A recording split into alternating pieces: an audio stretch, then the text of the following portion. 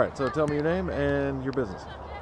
Ken Sharpe, uh, Sharpe Home Improvement is my business, and I'm a general contractor, residential remodel contractor. And uh, how long have you had your hearing aids? about a, about a year, I think. What do you think of your hearing aids? Well, I can't really live without them. Now that I have them, um, I kind of, you know, I put them off for a long time getting them, and you know, they just help me so much with my business and everything, um, my life that I just really don't like not wearing them. So got used to wearing them, and it's no big deal. And how's your wife like them?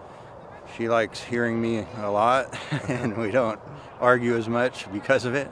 Yeah.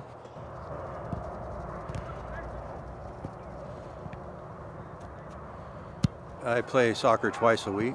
And you wear the hearing aids while you're playing? Yes, I do. And have you ever had any trouble with them falling off?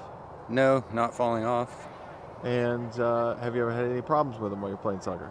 Um, just from the sweat, and then I got some little um, covers for them, and now they work fine. And you don't have No any problems, problems, with, no. with sweat anymore with, now that you have those covers? Yeah, All right. covers work good. I can hear people now. All right.